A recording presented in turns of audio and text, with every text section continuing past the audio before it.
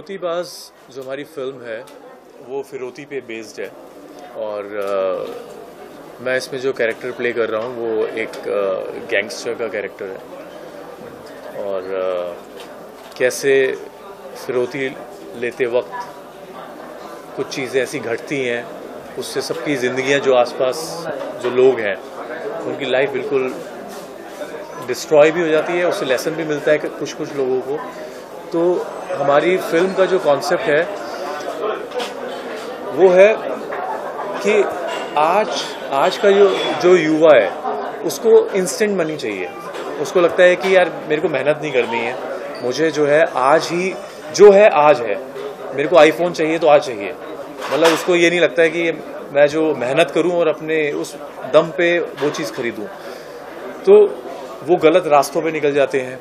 गलत गलत जगह पर जाते हैं तो हमारी फ़िल्म का जो बेस है वो फिरौती है और उस फिरौती लेते वक्त क्या क्या चीज़ें घटती हैं और अभी बहुत ही इनिशियल स्टेज है, हम स्टोरी को रिवील करें और ये हमारे प्रोड्यूसर सर हैं और ये हमारी को स्टार हैं।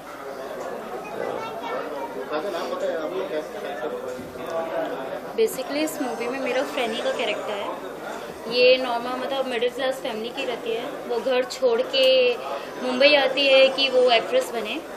तो इसके अकॉर्डिंग वो कैसे क्या इस मूवी के अंदर जो कुणाल और नेहा करके जो कैरेक्टर उनकी नेबर रहती है। फ्रौती में कैसे क्या उनका, उसका रोल रहता है, वो सब पूरा ड्रामा है इस मूवी के अंदर।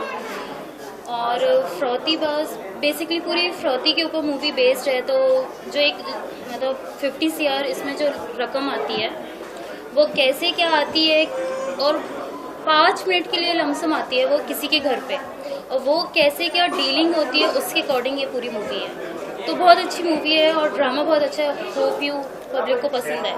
थ्रिलर फ़िल्म है हमारी थ्रिलर जो।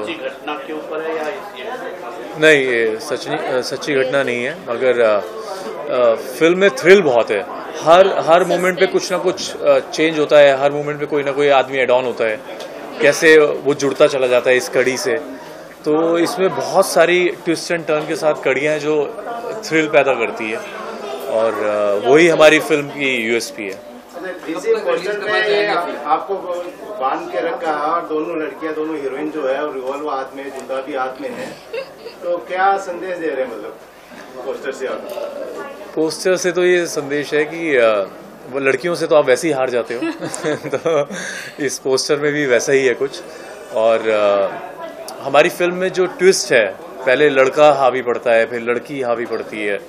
तो अभी आ, बहुत आ, बताना बहुत जल्दी होगा कि क्या है कहानी मगर मैं अपने कैरेक्टर के बारे में बता सकता हूँ कि वो गैंगस्टर है और आ, उसकी अपनी एक लाइफ है। घर पे एक डिफरेंट परसोना है उसका बाहर उसका डिफरेंट परसोना है। तो कैसे उसके बीच में वो फंसा रहता है कैसे चीज़ें चेंज होती हैं और कैसा पैसे इन्वॉल्व होता है। उसी उसी पे आधारित हमारी पूरी फ़िल्म अच्छा, मेरा सवाल है कि फिरोती बाद ये जो सब्जेक्ट है हम्म, हम्म। आपको मतलब ऐसा क्या लगा इसमें कि आपने ये पसंद किया और क्या ऑडियंस को मैसेज देना चाह रहे हैं? फिरौती बास का ये है ऑडियंस को मैसेज देना चाहते हैं कि जो भी काम गलत तरीके से होता है लाइक फिरौती हो गया हत्या हो गया बलात्कार हो गया ये सारी चीज़ें गलत वैसे गलत चीज़ें जो रहती है ये लोग बहुत जल्दी एक्सेप्ट करते हैं इस चीज़ को। लोगों को बहुत जल्दी उनको मिल जाता है बट उसका जो परिणाम है वो गलत गलत ही होता है। एक ट्रेंड रह चुका है कि जो अंडरवर्ल्ड के एलिमेंट्स होते हैं जैसे गन्स हो गए मैं यहाँ पे देख रहा हूँ किडनैपिंग का एलिमेंट हाँ, आप पोस्टर। में दिखा रहे हैं। इसे हर प्रोड्यूसर निर्देशक और निर्माता बहुत जल्दी उठाता है कि वो अपनी मूवी में इसे इंक्लूड करे। लेकिन आपका क्या कंटेंट होगा इस मूवी को लेकर? इस मूवी को लेकर के जो भी मतलब आप पूछना क्या चाहते हैं? सवाल ये है कि जो गन्स बॉम्ब किडनैपिंग एक्सटॉर्शन ये जो टॉपिक्स हैं अंडरवर्ल्ड से रिलेटेड हैं हम्म। और उसकी कहीं ना कहीं कुछ झलकियाँ आपके पोस्टर्स में दिखती हैं। हम्म। क्या ये मूवी अंडरवर्ल्ड से इंस्पायर्ड है? अंडरवर्ल्ड से इंस्पायर नहीं ये मूवी पर्टिकुलर इसमें है कि मेनली पैसे के ऊपर सारी चीज़ें हैं। पैसा बंदा लेके भागता है उस पैसे में कुछ बीस लोग इन्वॉल्व रहते हैं। एक बिल्डर से पैसा लेता है वो उसके बाद पैसा लेने के बाद में भागता है भागता है भागते हैं आता है कुछ पैसे कम हो जाते हैं फिर पैसे को लेकर के फिर one by one by one murder होता है कि पैसे कहाँ गए किसको गए किसके पास गए। अल्टीमेटली जो पैसा रहता है वो हीरो और हीरोइन लेकर के मतलब वो थोड़ा सा सस्पेंस है। वो वो लोग लास्ट में निकल जाते हैं लेकर के पैसे। कब तक रिलीज़ करना चाहेंगे film we are planning to release the movie in the month of March two thousand Holi के टाइम पे। तो ये 18 बताइए कि अपनी पहली प्रोड्यूसर है। तो ये आपने ये टॉपिक क्यों चूज़ मेरे डायरेक्टर ने मेरे को बताया और मैं बचपन से इंस्पायर था कि कुछ नई चीज़ होनी चाहिए। कुछ थ्रिलर टाइप थ्रिल होना चाहिए बचपन। इसको इसलिए मैंने इस स्टोरी को पसंद किया और मैंने प्रोड्यूस कर रहा हूँ। थ्रिलर तो तो मेनली वो फिरौती पे ही सारी मूवीज़ है। तो पैसे इधर उधर करना पैसे को ब्लैक मनी को वाइट कैसे करना क्यों वाइट करना? मोदी जी का ये चीज़ है कि ब्लैक मनी को वाइट नहीं होनी चाहिए। तो सारी चीज़ें को अपने को लेके चल रहा है। इसका मतलब आप कहना रहे हैं मोदी जी का संदेश आप पिक्चर से हाँ? कि सारी चीज़ें नंबर वन से होनी चाहिए। सही काम होनी चाहिए। तो वो सारी चीज़ें दिखाया गया मूवी के अंदर कि अपन कैसे उसको नंबर वन को सब नंबर वन में सारी चीज़ों को लेके कैसे आ रहे हैं नहीं शूटिंग इनका ये मुंबई मुंबई बेस्ड मुंबई है। यूपी बिहार का नहीं है। इस मूवी की आपका टारगेट ऑडियंस कौन होगा? Young youth. रीजन की जिसको जिसको भी अ, अब्बास मस्तान टाइप जो फ़िल्म होती है जिसमें हर एक मोमेंट पे कोई ना कोई थ्रिल आता है तो हमारी फ़िल्म में भी उस तरह के बहुत सारे एलिमेंट्स हैं कि लगता है कि अब तो हर चीज़ सॉल्व हो गई है फिर एक नया एलिमेंट आएगा। तो ऐसे बहुत सारे ट्विस्ट एंड टर्न है। तो मुझे लगता है कि हमारी मूवी उस कैटेगरी की है और उस तरह की ऑडियंस है जो थ्रिलर फ़िल्म देखना पसंद करती है। सर माहिरा जो सेकंड हीरोइन है वो आई नहीं है। आ रही है she is on the way to come उनका क्या रोल रहेगा इस मूवी में? थोड़ा वो एक वाइफ का वो मेरी वाइफ का वाइफ रोल का रोल की है। रोल प्ले कर रही हैं।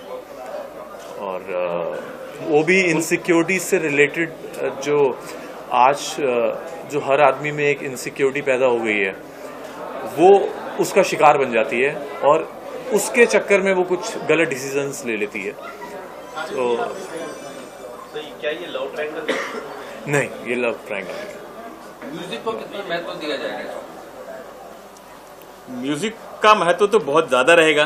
हम इसमें काफ़ी अच्छी मूवीज़ में सॉरी म्यूज़िक लेके आ रहे हैं हम। तीन म्यूज़िक रहेंगे इस मूवी के अंदर में। एक आइटम सॉन्ग रहेगा दो एक रोमांटिक सॉन्ग रहेगा एक नॉर्मल सॉन्ग रहेगा। और हमारी सॉरी म्यूज़िक डायरेक्टर एक ही रहेंगे। नहीं डायरेक्टर अलग अलग हैं। डायरेक्टर एक ही रहेगा सिंगर्स अलग अलग रहेंगे। इसको आप ऑल ओवर इंडिया में ऑल ओवर इंडिया में हम रिलीज़ करेंगे। No no no all over India release by all over India like except south so मैं यहाँ पर आई। मेरा एक्चुअली बचपन से सपना था कि मैं एक्ट्रेस बनूँ। बट बेसिकली एजुकेशन की वजह से मेरा फुलफिल नहीं हो पा रहा था तो देन मेरा एम बी कंप्लीट हुआ। वहाँ मैं थिएटर्स और बहुत सारी चीज़ें करती थी। तो लेकिन होता है ना मन में कि नहीं वो चीज़ नहीं मिल पा रही है जो हमें चाहिए। तो मैं मुंबई आई, बहुत सारे लोगों से मिली, उन्होंने मुझे मोटिवेट किया मैं एक्टिंग को लेके। उसके बाद फिर जब यहाँ डायरेक्टर और राइटर ने जब स्टोरी मुझे नरेट की तो मुझे स्टोरी पसंद आई बेसिकली तो इसके वजह से मुझे लगा कि अगर फ़र्स्ट टाइम क्योंकि फ़र्स्ट प्रोजेक्ट है मेरा तो मैं यही चाहती हूँ कि पब्लिक में अगर मेरा फ़र्स्ट प्रोजेक्ट आए तो मतलब एक नंबर आना चाहिए कि जिससे सब ऑब्वियसली मतलब ये एक नंबर हो जाता है। राइट. तो हीरोइन चाहती है कि मैं लव मूवी और लव टाइम में आप तो थ्रिलर में आ रहे हो तो ऐसे भी अपनी बेसिकली एमपी में जैसे मैंने क्राइम्स देखे हैं मैं जैसे छोटी थी ना तो बहुत सारे क्राइम्स हुए क्योंकि मेरे पापा का सपना था क्या? कि मीन्स देखे भी हैं और टीवी में भी मतलब ऑब्वियसली सावधान इंडिया क्राइम पेट्रोल सब आते थे। तो मैं मतलब डैड का भी सपना था कि मैं आईपीएस ऑफिसर बनूँ बट मैं वो नहीं करना चाहती थी ऑब्वियसली मैं इंडस्ट्री में आना चाहती थी। तो मैंने सोचा कि पहला मैं ये चाहती हूँ मैं मॉम डैड और इवन पब्लिक के अकॉर्डिंग मैं ये चाहती थी कि पहली मेरी मूवी जो है वो क्राइम के ऊपर है। अपने सोच के आपको मैंने ये सोच के ही और ये मुझे स्टोरी बेसिकली पसंद है। क्राइम की स्टोरी तो बहुत सारी होती है। इसने सोच के ही क्राइम की सोच के सोच के क्राइम किया नो